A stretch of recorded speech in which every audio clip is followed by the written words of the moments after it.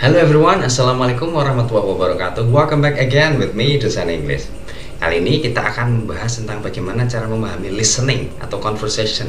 Native speaker yang super cepat itu ya. Nah saya pernah ditanya beberapa orang atau juga mahasiswa ya Bagaimana sih? Saya kesulitan memahami percakapan mereka di TV itu? Sulit sekali menangkap ide maknanya Atau di listening uh, TOEFL maupun IELTS Bagaimana cara bisa memahaminya secara detail. Memang ada rahasianya ya. Nah kali ini saya akan beberkan rahasianya. Oke sebelumnya di subscribe dulu channelnya dosen English. Baik begini. Nah uh, jadi kita biasanya orang Indonesia ya ketika listening ya terutama eh, mendengarkan percakapan orang barat itu kita hanya fokus pada uh, kata per kata ya. Nah bahasa Inggris itu rahasianya adalah jadi ketika kata digabung dengan kata lain dia akan memproduksi bunyi yang berbeda. Sekali lagi, jadi jika kata digabung dengan kata yang lain dalam bahasa Inggris itu dia akan memproduksi bunyi yang berbeda. Seperti contoh ini, not at all, not at all. Bunyinya lain kan ya, not at all, not at all, not at all. Nah, itulah bahasa Inggris seperti itu ya. Nah, jadi kita tidak boleh fokus pada kata per kata dan mentranslatekan. Nah, ini kita akan kesulitan memahami ya kalau kita uh, hanya fokus pada kata per kata. Nah, caranya adalah fokuslah pada bunyi.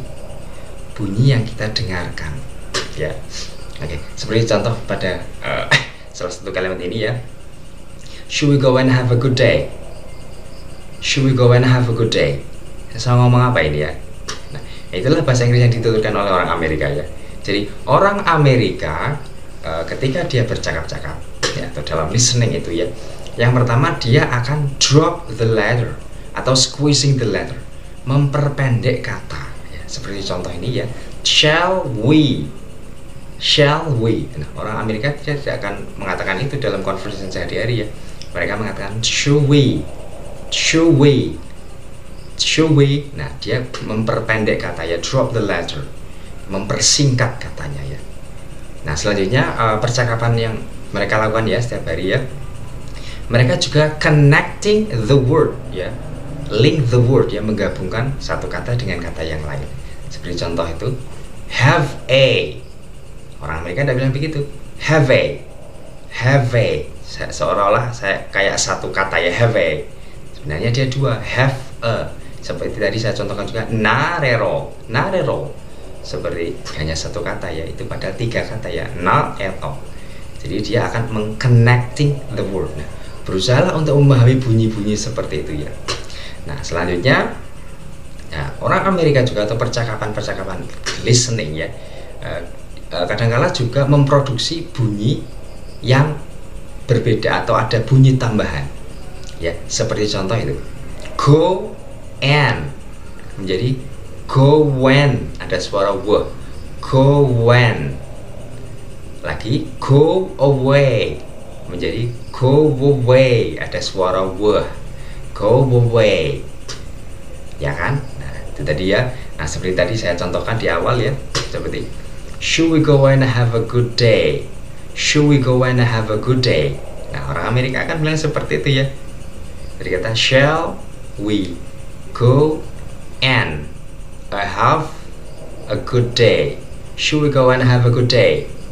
Nah, begitulah conversation percakapan sehari-hari mereka. Jadi kita harus fokus pada bunyi ya, karena bunyi itu nanti akan menentukan maknanya. Percakapan eh, orang-orang apa namanya yang sudah native itu dia tadi ya saya sampaikan yang pertama dia drop the letter kadang-kala dia ya squeezing ya memperpendek atau juga kadang-kala dia link the the word ya. Menggabungkan satu kata dengan kata yang lain diseret-seret kalau bahasa kita. Nah, yang ketiga kadang-kadang dia juga menambahkan bunyi. Bunyi wah tadi dari mana? Padahal tidak ada tulisannya ya. Go away. Go when. Kayak ada tulisannya go and. Nah itulah rahasianya ya. Jadi supaya kita bisa memahami nah fokuslah pada bunyi-bunyi itu supaya kita bisa menangkap ide percakapan mereka ya. Percakapan yang super cepat itu di TV maupun di listening listening ayo. Nah itu ya. Oke okay? sudah tahu ya rahasianya? Good. So thank you for watching. Jangan lupa di subscribe channelnya dosen English. Assalamualaikum warahmatullahi wabarakatuh